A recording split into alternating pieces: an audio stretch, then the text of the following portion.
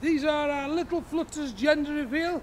This one's a blue one. I'm going to be honest with you, I've just set the pink one off and I didn't realise how good they are. So this is the blue one, they're brilliant. Watch it when I, when I set it off. So, congratulations! Oh, look at that, brilliant. Absolutely brilliant.